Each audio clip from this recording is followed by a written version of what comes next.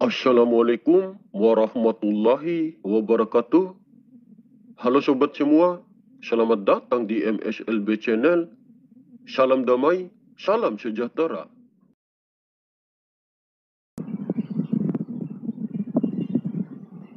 Sebelum saya menyampaikan informasi ini, saya hanya ingin mengingatkan kepada kalian semua bahwa setiap informasi yang saya sampaikan ini hanyalah sebuah gambaran saja mengenai sosok seorang manusia pilihan Allah yang berjiwa kerasulan. Dan setiap informasi yang saya sampaikan bukanlah suatu kebenaran yang mutlak, karena kebenaran yang mutlak hanyalah milik Allah Subhanahu wa Ta'ala. Meskipun hanya sosok manusia biasa-biasa saja, tetapi sang Khalifah ataupun Imam Mahdi adalah sosok manusia yang memiliki kemampuan dan kelebihan yang sangat luar biasa. Sang Khalifah ataupun Imam Mahdi memiliki kesempurnaan penglihatan yang sangat tajam. Beliau bisa melihat masa lalu dan bisa melihat masa depan, serta bisa melihat apa pun. Ketajaman penglihatan sang khalifah ataupun Imam Mahdi melihat dengan rasa yang muncul dari kekuatan batinnya. Beliau tidak seperti manusia biasa yang jika melihat hanya dengan penglihatan lewat mata saja.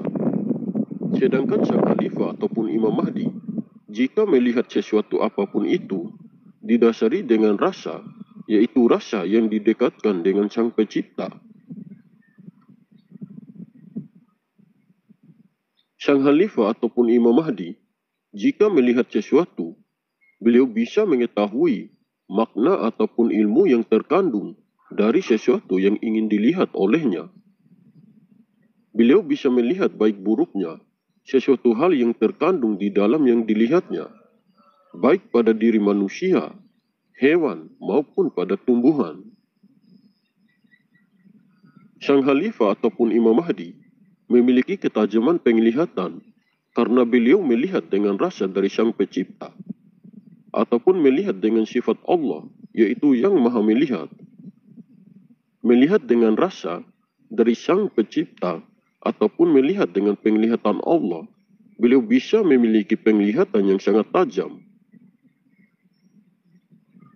Apabila Allah sudah cinta pada seorang hambanya, maka sifat-sifat Allah akan tertanam pada hati dan jiwa seorang hamba tersebut. Jika sifat-sifat Allah sudah tertanam pada diri kekasih pilihannya, maka seorang pilihan tersebut pasti akan memiliki kemampuan dan kelebihan yang sangat luar biasa. Sang Khalifah ataupun Imam Mahdi, selain memiliki penglihatan yang sangat tajam, beliau juga memiliki kesempurnaan pendengarannya. Jika Allah sudah cinta kepada hambanya, maka di saat itulah seorang hamba tersebut bisa melihat dengan penglihatan Allah dan mendengar dengan pendengaran Allah. Seperti yang dijelaskan di dalam hadis Qudsi, Allah subhanahu wa ta'ala berfirman yang artinya, Siapa yang memusuhi waliku, maka aku umumkan perang kepadanya dan hambaku tidak bisa mendekatkan diri kepadaku dengan sesuatu yang lebih aku cintai daripada yang telah aku wajibkan. Jika hambaku terus-menerus mendekatkan diri kepadaku dengan amalan sunnah, maka aku mencintai dia.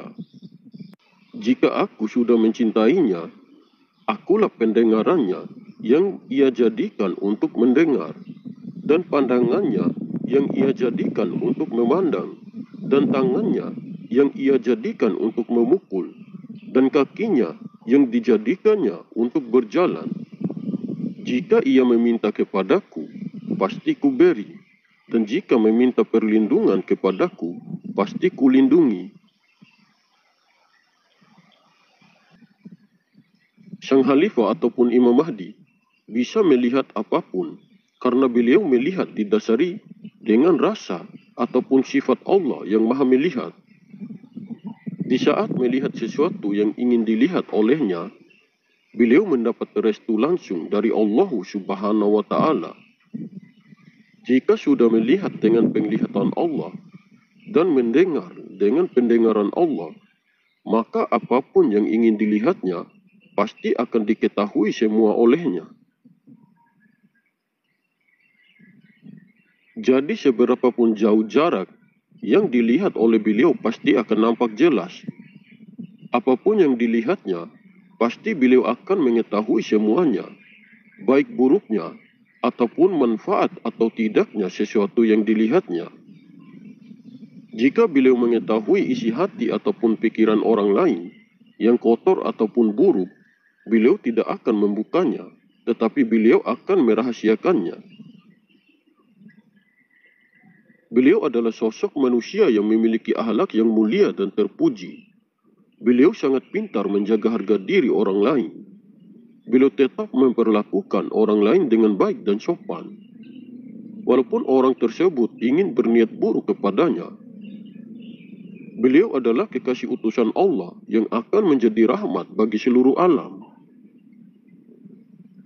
Apabila sang khalifah ataupun Imam Mahdi sudah mulai bertindak maka beliau akan menebarkan energi positif ke seluruh penjuru langit dan bumi ini. Beliau akan menebarkan rasa kasih dan sayang kepada semua makhluk.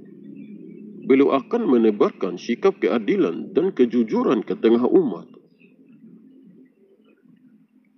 Dengan begitu, makhluk yang ada di muka bumi ini akan saling tolong-menolong, bahu-membahu, hargai-menghargai. Dan manusia pun akan berkurang dari sikap yang selalu berbuat kerusakan dan kejoliman di muka bumi ini. Tidak akan banyak lagi pemimpin-pemimpin yang bertindak tidak adil terhadap rakyatnya. Jika beliau sudah menebarkan energi positif, bukan hanya pada diri manusia saja yang mengalami perubahan, hewan maupun tumbuhan akan berguna dan bermanfaat. Bahkan makhluk gaib pun seperti bangsa jin bisa jadi akan berkurang dari perbuatan jahat mereka yang selalu mengganggu kehidupan manusia. Dengan ketajaman penglihatannya, beliau bisa melihat dan mengetahui sesuatu yang belum terjadi dan bisa melihat masa depan.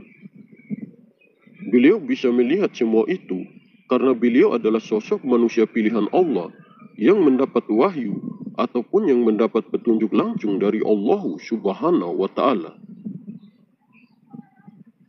Sang khalifah ataupun Imam Mahdi bisa melihat dan mengetahui sesuatu yang belum terjadi bukan karena beliau meramal tetapi karena beliau memiliki kemampuan ataupun kelebihan yang diberikan langsung oleh Allah Subhanahu wa taala dalam bentuk wahyu ataupun petunjuk karena wahyu ataupun petunjuk langsung itulah yang menyebabkan beliau bisa mengetahuinya.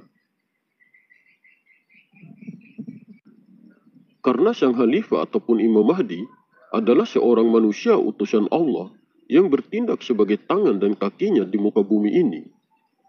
Makanya hanya beliau saja manusia yang mendapat tugas dan amanah dari Allah Subhanahu wa taala karena itulah beliau lebih tahu daripada manusia lainnya. Beliau juga lebih tahu karena dirinya adalah manusia utusan Allah yang akan menjadi pemimpin di muka bumi ini. Sang Khalifah ataupun Imam Mahdi adalah sosok manusia pilihan Allah yang memiliki kemampuan ataupun kelebihan yang sangat luar biasa, yang sulit dijangkau oleh akal dan logika manusia biasa sang khalifah ataupun Imam Mahdi bisa melihat masa lalu yang telah terjadi dan bisa melihat yang akan terjadi di masa depan.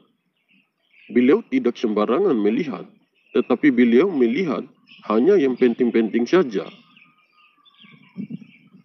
Beliau akan melihat jika ada perintah ataupun petunjuk langsung dari Allah Subhanahu wa taala. Jika ada sesuatu yang membahayakan bagi umat manusia, maka beliau akan tahu lebih dulu sebelum itu terjadi.